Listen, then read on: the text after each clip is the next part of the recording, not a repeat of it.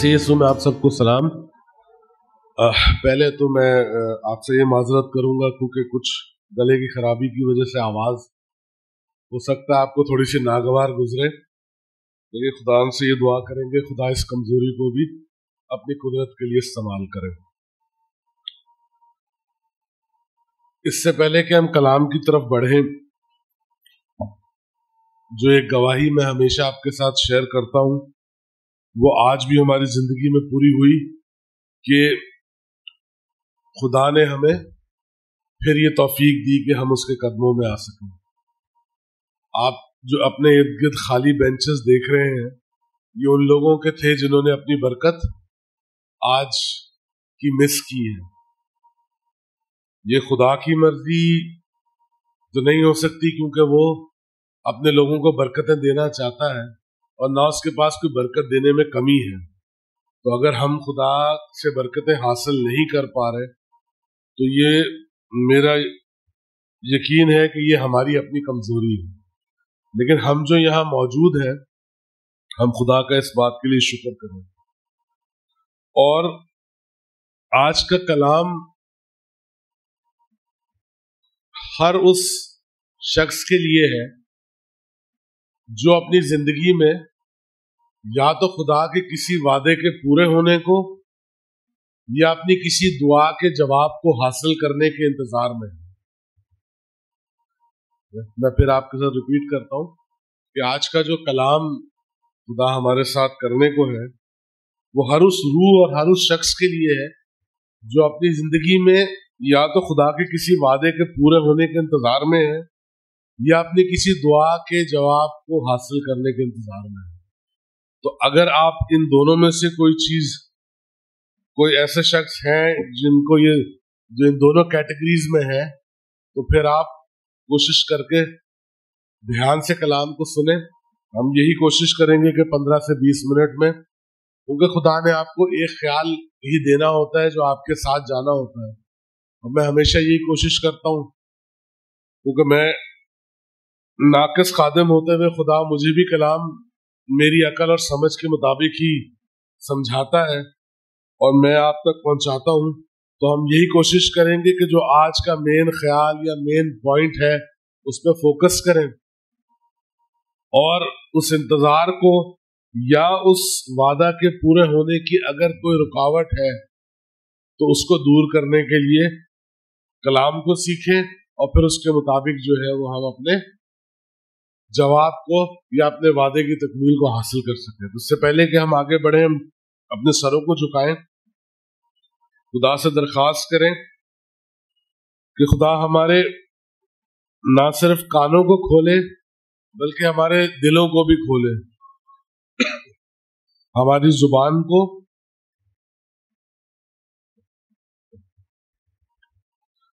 हमारी, हमारे दिलों को खोले, हमारे जहन को खोले। क्योंकि शैतान ने यहाँ बहुत सारी ऐसी डिस्ट्रैक्शंस रखी है, जिसकी वजह से वो कलाम का बीज हमसे छीन कर लेके जा सकता है। और मैंने आपसे यही कहा कि अगर इन पंद्रह बीस मिनटों में आपने वो ख्याल या वो बात जो आपके लिए स्पेसिफिक है, मैं आपसे ये, हमेशा हम यही कहते हैं कि कलाम में बहुत सारी बातें की जाती है, लेकिन आपको जब भी कोई कलाम याद है तो वो दो या तीन चीज़ों के अलावा या दो या तीन ख्याल के अलावा नहीं होता। तो अगर हमने उस पॉइंट को अपने लिए जो आज रूह हमें देने को है, अगर आप मिस करेंगे तो फिर यहाँ पे आना और इस सारे एफर्ट से गुजरना आपके लिए अब सो जाएगा। तो हम खुदा से दरखास्त करते हैं कि वही हमारा ध्यान अपनी आवाज़ की तरफ़ रख सकता है। तो हम उसी से मदद मांगते हैं।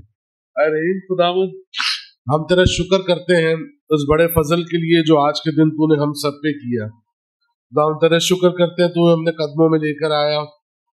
अपने घर में तूने हमें आने की तौफीक दी अपनी हजूरी में आने की तौफीक दी।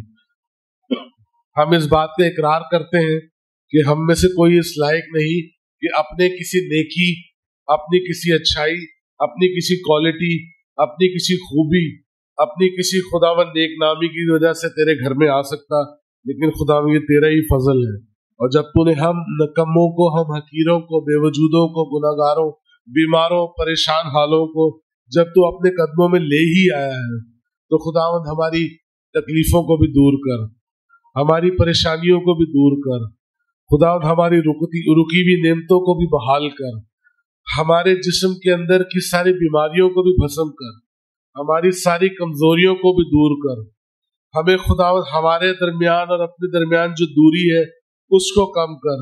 रूह की जो नेमते हमारे ज़िंदगी में ज़ाहिर होने से रुकी हुई हैं, उनको भी तू बहाल कर। खुदा अपने बेटे के लहू के वसीले से। हमें खुदा ब्लेस कर, ताकि खुदा हम तेरी आवाज़ को खुले कानों के साथ, खुले जहन के साथ, खुले दिल के साथ और पूरी रूह के साथ सुन सके, ताकि खुदा हम इस कलाम से बरकत पा सके। मांगते तेरे प्यारे बेटे, हमारे खुदा मसीह के नाम से। आमीन। हम,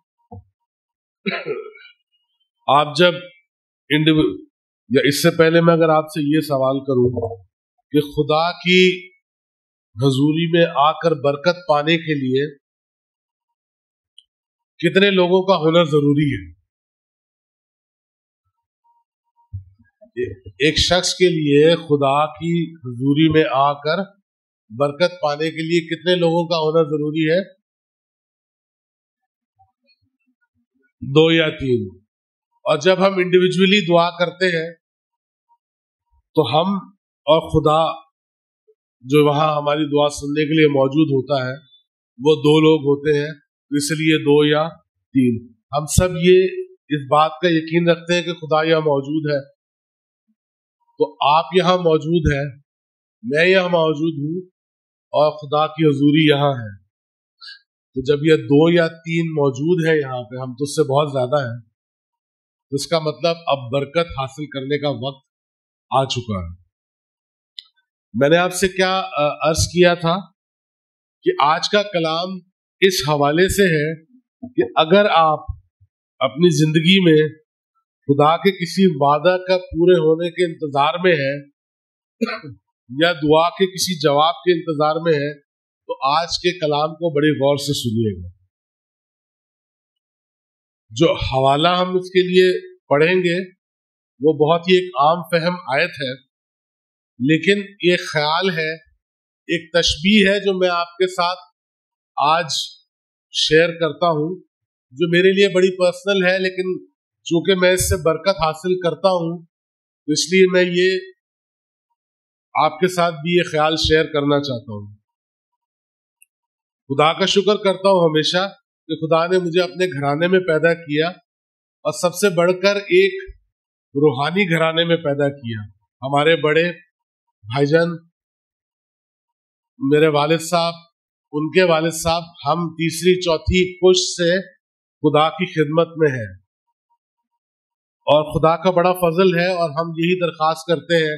भाईजन भी हमेशा दुआ करते हैं कि हमारी आने वाली नस्लें भी इसी तरह से खुदा की खिदमत में मशगूल और मगन रहें। जो ख्याल मैं आपके साथ शेयर करना चाह रहा हूँ, आप में से अक्सर लोग मेरे वालिद साहब को जानते हैं, जो यहाँ पे भी भाईजन के साथ खुदा की खिदमत करते थे मुनवर साहब। उनको भी खुदा ने कलाम की बरकत दी थी। और वो अक्सर कलाम पेश करने के साथ साथ कलाम को लिखा भी करते थे और उनके जाने के बाद हमें बहुत सारी उनकी ऐसी तहरीर मिली, जहाँ उन्होंने खुदा के कलाम को आयतों, हवालों के साथ और ख्याल के साथ तहरीर किया। और अब भी जब उनकी उन डायरीज को या उन नोट्स को, या उन पेपर्स को जब मैं हाथ में लेकर पढ़ता हूँ तो अब भी मुझे अपने बाप का लम्स उन और में महसूस होता है। उन उस डायरी को पकड़ के जिसमें वो कलाम को लिखते थे, आज भी मैं महसूस करता हूँ जैसे मैं अपने बाप के हाथ से खुदा के कलाम को सीख रहा हूँ। तो जब मैं अपने जिस्मानी बाप के लिए इस जज्बे का और इस एहसास को फील कर सकता हूँ तो ये तो हमारे रूहानी बाप का कलाम है। मैं हमेशा आपसे यही कहता हूँ कि कलाम को पढ़ने की बरकत को हम ना मिस करें।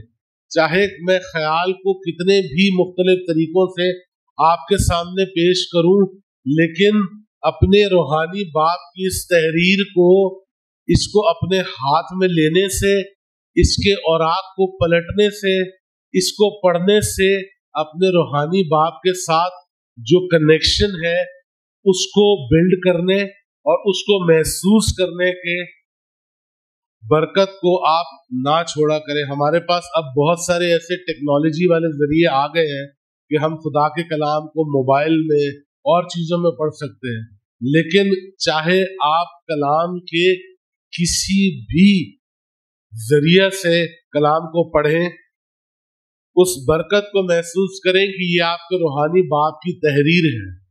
या आपके रूहानी बाप के अल्फाज हैं। जब आप इसको अपने हाथ में लें, जब आप इसको अपनी आँखों से पढ़ें, अपने जहन से समझें, अपनी ज़ुबान से इसकी तलावत करें तो महसूस करें कि ये हमारे रूहानी बाप के अल्फाज हैं। आयत जो मैं आज आपके साथ पढ़ना चाह रहा हूँ, उस आयत को हमने से अक्सर लोग जुबानी तौर पर समझते होंगे। याद होगी हमें, लेकिन हम इसको यहाँ से रिपीट करते हैं। रोमियो उसका आठवां बाब और उसकी अट्ठाईसवीं आयत। जो हमारा हवाला है, वो है रोमियो का खत, उसका आठवां बाब और उसकी अट्ठाईसवीं आयत।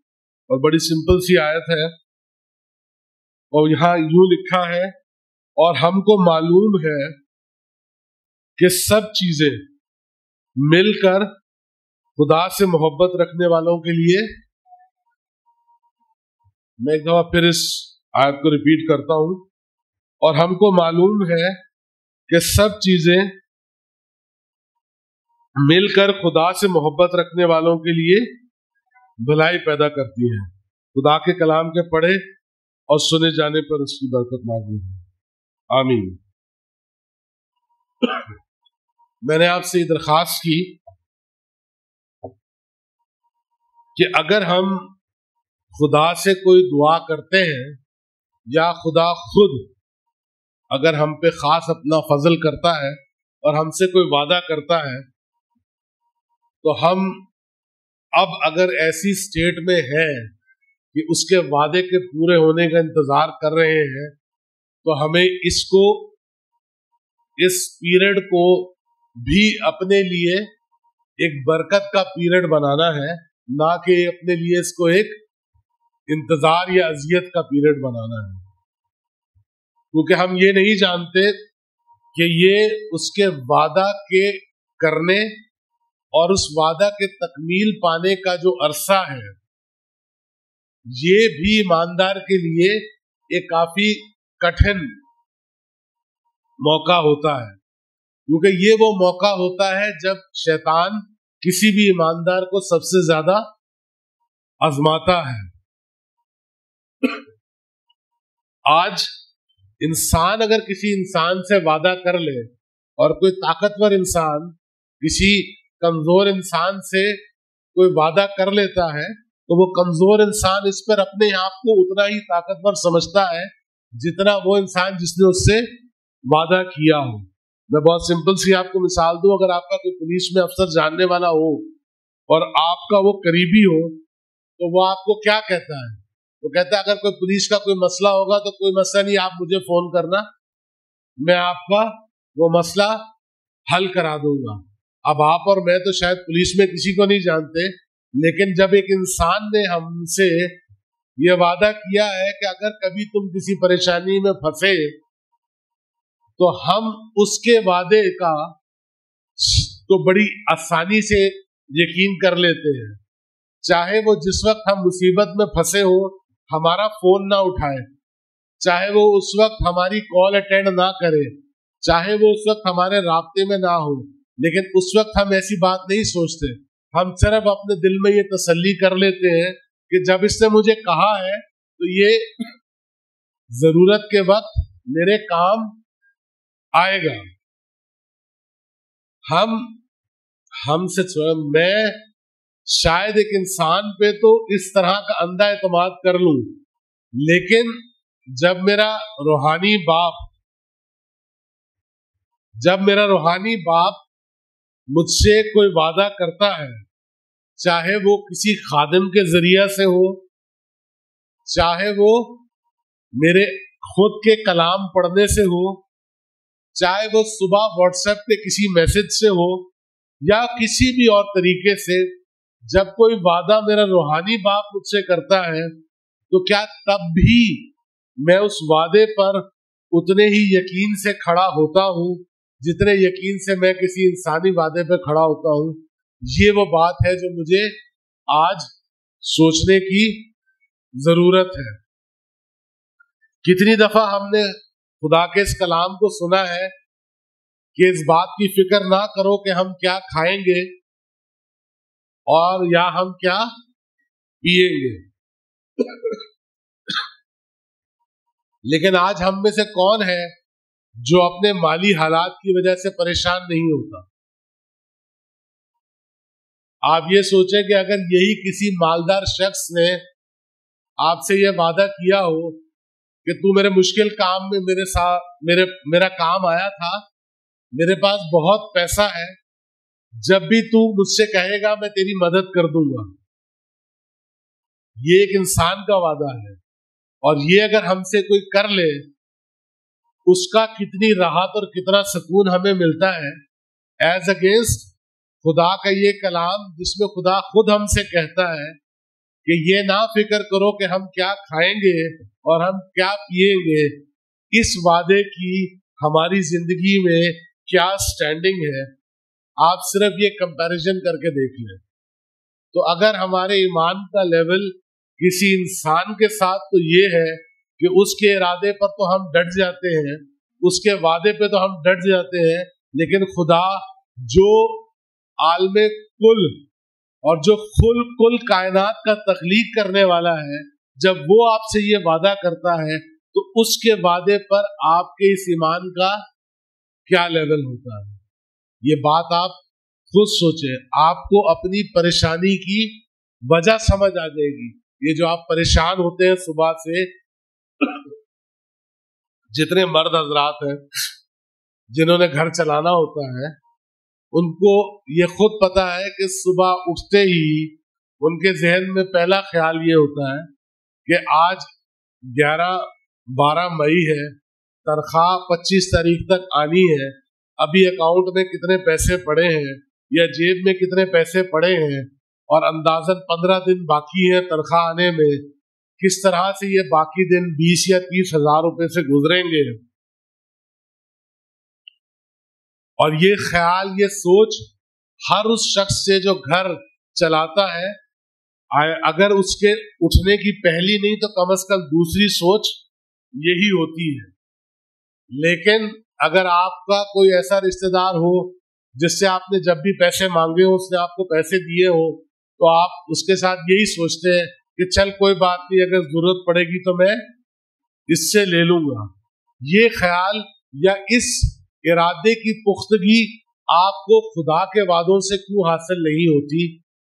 और यही वो वजह है जिसकी वजह से आप परेशान रहते हैं। तो अगर हम इंसान से बढ़कर खुदा की तरफ़, इंसान से बढ़कर खुदा के वादों पर भरोसा करने को तरजीह दें और इंसान से बढ़कर खुदा के वादों पर ईमान रखने को तरजीह दें तो शायद हमारी परेशानी का लेवल जो है, वो कम हो जाए। अच्छा हम, ऐसा नहीं है कि बाइबल में ऐसा नहीं हुआ। हमें एक बहुत अच्छी मिसाल पतरस की पता है, कि जब पतरस ने यीशु को पानी पे चलते हुए देखा तो उसने यीशु से क्या किस ख्वाहिश का इजहार किया? उसने यीशु से कहा कि मुझे भी कह तो मैं पानी पे चल के तेरे पास आऊ। उसने खुदा से एक दरखास्त की। खुदा ने उसकी दरखास्त का जवाब दिया। यीशु ने उसको कहा, आजा। उसने इस बात पर ईमान रखकर वो, उसने पानी पे कदम भी रख लिया। चलना भी शुरू हो गया। फिर क्या हुआ? फिर जब उसकी नज़र, फिर जब उसकी नज़र यीशु से हटी तो उसके कदम, अब इससे ज़्यादा मैं आपको क्या समझाऊं? जिस वक्त आपकी नज़र आपके महबूब के चेहरे से हटेगी तो क्या होगा?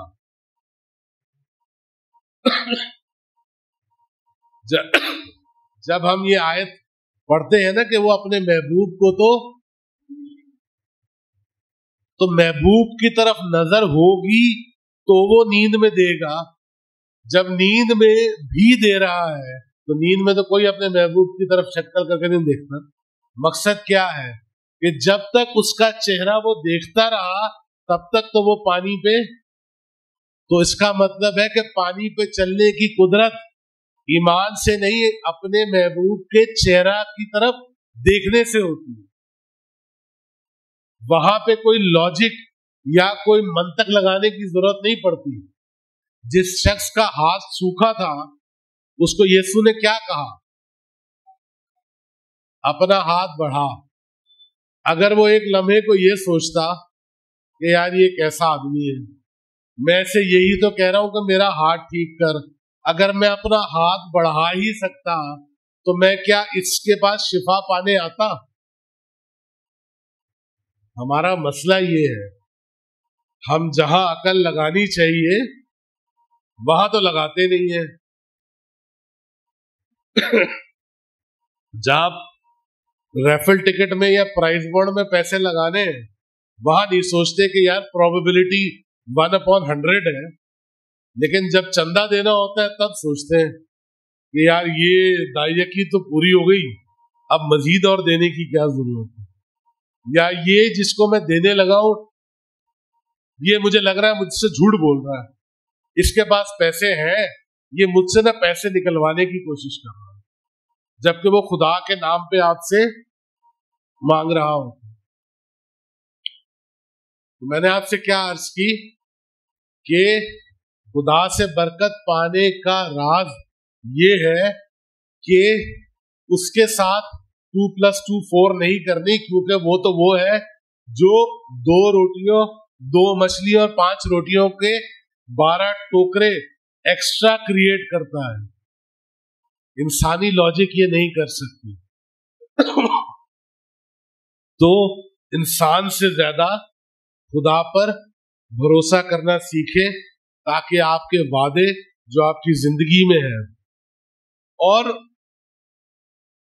मैं, मैंने आपसे ये कहा ना कि पहले खुदा कलाम मुझे सिखाता है। हालात और वाकयात के ऊपर नज़र रखेंगे तो कभी भी मुआवजा नहीं हो सकेगा। मुआवजा हालात और वाकयात के ऊपर मबनी नहीं होता। हालात और वाकयात तो नॉर्मल सर्कमस्टेंसेस हैं।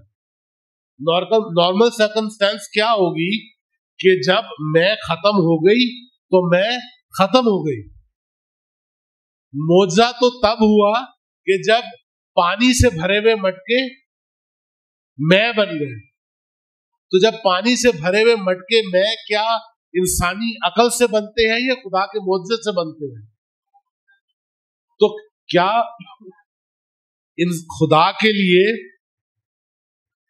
इंसानी तरीकों से काम करने की लिमिट है। वो तो मुआवजे के ज़रिए काम करता है। तो हमें अपने इर्द गिर्द की सिचुएशन पे नज़र रखने की क्या ज़रूरत है?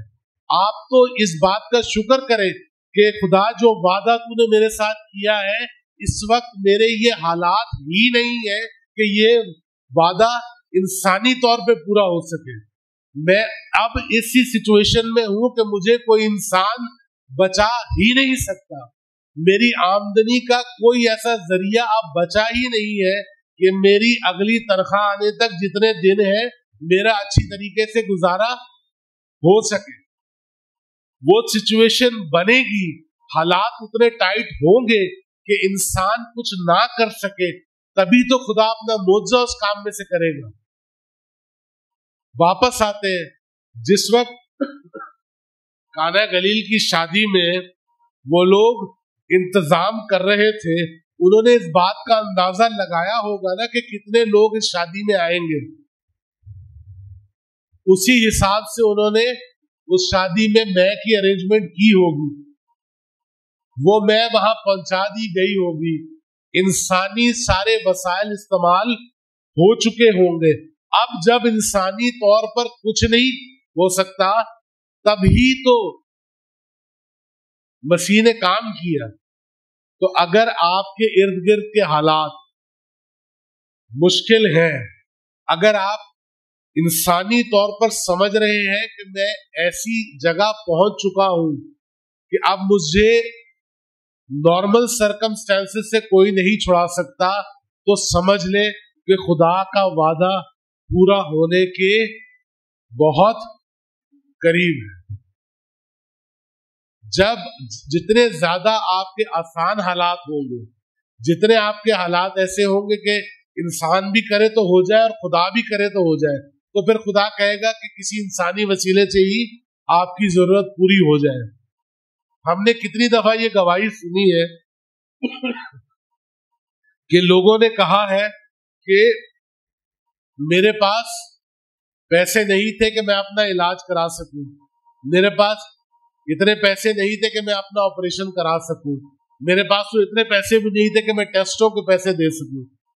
और जब वो सारा सिलसिला हो गया तो उन्होंने यही गवाही दी कि मुझे नहीं पता कि खुदा ने कहा से इंतज़ाम किया। तो जब आपका, आपकी सिचुएशन ये आ जाए कि आपके सारे रास्ते बंद हो जाए तो समझ लीजिए कि खुदा अब अपना काम करने को है। तो अगर आज आप किसी ऐसी सिचुएशन में हैं और अभी भी आप किसी इंसान पर रिलाय कर रहे हैं या किसी जिस्मानी सिचुएशन के का वेट कर रहे हैं तो अब तो समझ ले कि अभी आपके वादा पूरा होने में या दुआ के पूरा होने में टाइम है। आपके हालात जिस वक्त वहाँ पहुँच जाएँगे कि आपकी नज़र इर्द गिर्द की लहरों से हटकर अपने महबूब के चेहरे की तरफ़ चली जाएगी, उस वक्त वो आपकी ज़िंदगी में फिर काम करेगा। मैं अपने लिए इस कलाम को अपनी ज़िंदगी में समझ रहा हूँ। जब खुदा ने मुझे ये कलाम दिया, मेरी वाइफ यहाँ बैठी है, हम शायद इस कॉन्सेप्ट को जो खुदा ने हमारे साथ शेयर किया, जिस चीज़ के लिए हम दुआ कर रहे हैं, हम शायद इस मकसद को समझ रहे हैं। मुझे यकीन है कि जब खुदा ने ये कलाम मुझे आपके साथ शेयर करने को दिया है तो आपके भी दिल में कोई ऐसी ख्वाहिश, कोई ऐसा वादा होगा जो पूरा होना होगा, जिसका आप इंतज़ार कर रहे होंगे। लेकिन उसके इंतज़ार में जो गैप है, जो टाइम फ्रेम है उसकी एक वजह यह भी हो सकती है कि अभी तक आपकी नज़र इर्द गिर्द के पानी पे है इर्द गिर्द की लहरों पे है। अभी तक भी आपने दुनिया से हटा के नज़र अपने यीशु की तरफ़ नहीं लगाई। तो अगर आप अपने दिल में जांचे, इस तरह की कोई सिचुएशन है इर्द गिर्द से नज़र हटाएँ और उसे यीशु की तरफ़ लेके जाएँ। मैं सिर्फ़ एक और ख्याल आपके साथ जो है, वो शेयर करना चाहता हूँ। टाइम थोड़ा सा ज़्यादा हो रहा है।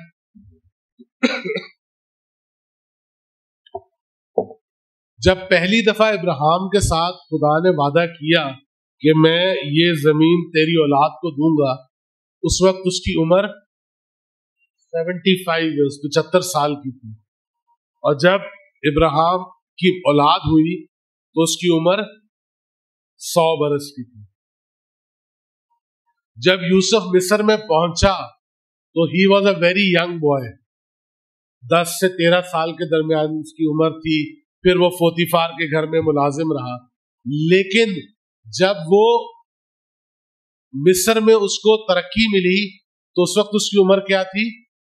अराउंड थर्टी तेरह, चौदह साल, कम अज कम। जब दाऊद को उसके घर में अनॉइंट किया गया उस वक्त वो अपने भाइयों में सबसे छोटा था तो उसकी उम्र भी तकरीबन दस या पंद्रह साल के बीच में होगी। लेकिन जब वो भी बादशाह बना तो उसकी उम्र तीस साल के करीब।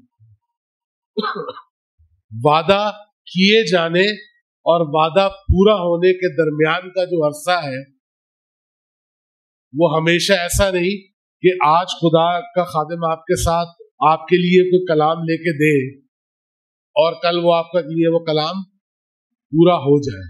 हमें कभी ऐसा भी सोचना चाहिए एक तो मैंने आपको बताई वजह कि हो सकता है अभी खुदा हमें अपनी तरफ़ डायरेक्ट कर रहा हो, अभी तक हमारी अटेंशन उस तरफ़ ना हो। कई दफ़ा ऐसा भी हो सकता है कि उस वादा की भी बरकत को हासिल करने में कुछ काम ऐसा है जो अभी हमें अपने लिए भी करना है।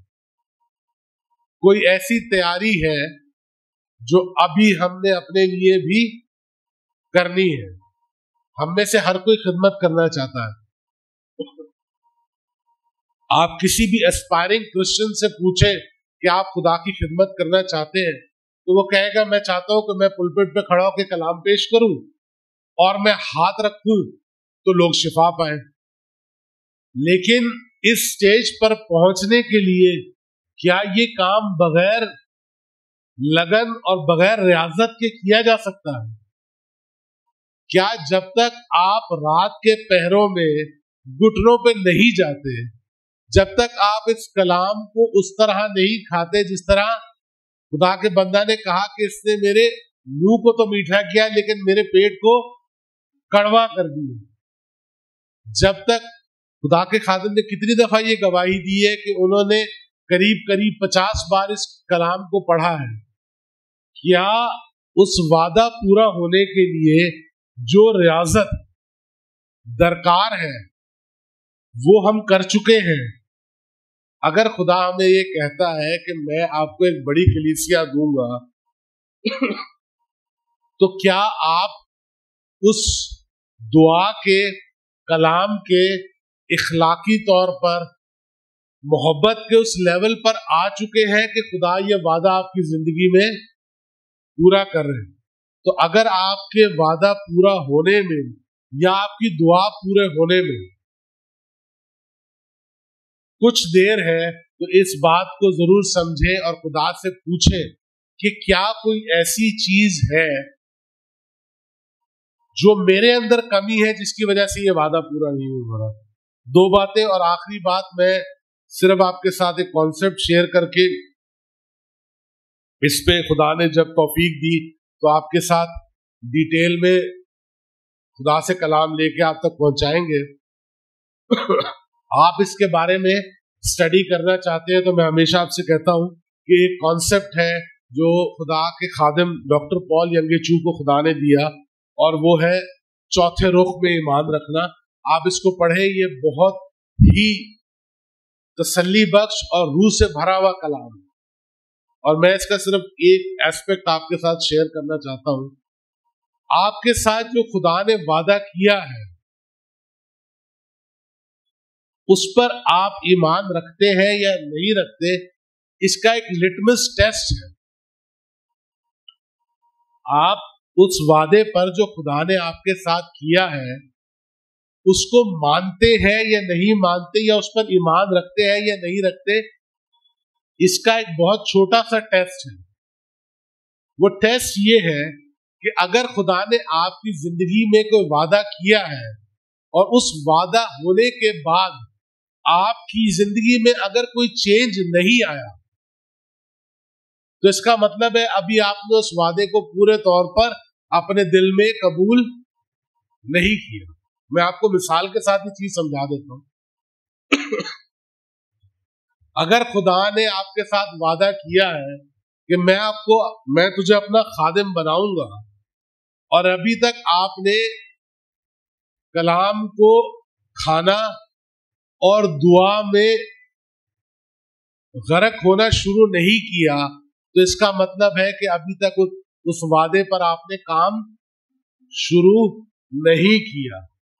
अगर आपका एरिया ऑफ़ इंटरेस्ट दुनिया से हटकर रूहानों की, रूहानी चीज़ों की तरफ़ शिफ्ट होना शुरू नहीं हुआ तो इसका मतलब है कि आपने उस वादे को सुन तो लिया है, लेकिन उस वादे की तकमील की तरफ़ अभी आप गामजन नहीं हुए। अगर आपको खुदा ने कहा है कि मैं आपको एक और अच्छी नौकरी दूँगा जिसमें आपके आपकी तनख्वाह ज़्यादा होगी। तो क्या आपने ये सो, सोचना शुरू कर दिया है कि अगर मेरी तनख्वाह बढ़ेगी तो मेरी दायकी भी बढ़ेगी यानी मैं खुदा के घर में ज़्यादा दे सकूँगा? क्या आपने ये सोचना शुरू किया है? क्या आपने ये सोचना शुरू किया है कि जब मेरी आमदनी ज़्यादा होगी तो मेरी लोगों की मदद करने की हैसियत बढ़ेगी? तो मैं खुदा के किस किस काम में खुदा के इस पैसे को दे सकूँगा? क्या आपने उस वादे को जीना शुरू किया है? ये ख्याल है जो मैं चाहता हूँ कि आप अपने साथ लेकर जाएँ। कि जब आपने खुदा से कोई दुआ की, आपने कोई खुदा से दरखास्त की, और आप ये कहते हैं कि मैंने इस दरखास्त को खुदा के सामने रखा है और खुदा से इस वादे को हासिल कर लिया है तो ये चेक करें कि आपकी रूहानी और आपकी जिस्मानी ज़िंदगी में क्या असरात उस वादे की वजह से मुरतब होना शुरू हुए हैं। और अगर कोई there is no change and there zero change तो इसका मतलब है कि अभी तक आपने उस वादे को कानों से तो सुन लिया है, लेकिन दिल से कबूल नहीं किया। हम यहीं पे इस बात को रोकेंगे। खुदा का कलाम क्या एक लफ्ज भी हमारे लिए काफ़ी है। जिस तरह इस बाइबल की एक आयत भी आपकी ज़िंदगी गुजारने के लिए काफ़ी है। मैंने आपको बहुत सारे ख्याल के साथ खुदा की बरकतें, रुकी हुई बरकतें हासिल करने का आपको तरीकेकार बताया।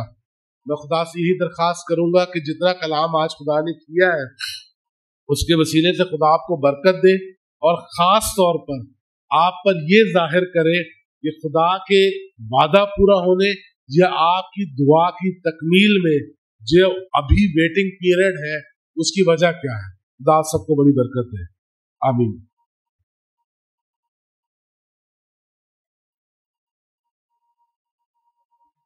आप सब खुश हैं? हालेलुया प्रेज कर जोरदार तालियाँ खुदा के जलाल के लिए।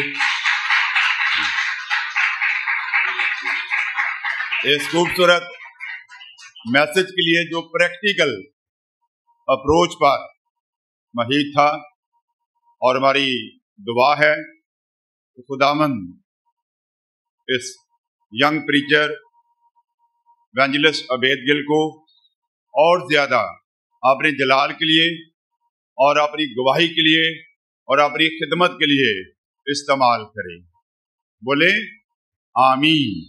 अरे मैंने लास्ट मैसेज में ये शेयर किया था कि मैंने भी मूसा और यशवा और और जिंदगियों को तैयार किया है, जिसमें मैंने ज़िक्र किया था भाई एल्बर्ट का, भाई अभेद का और फरसीना का।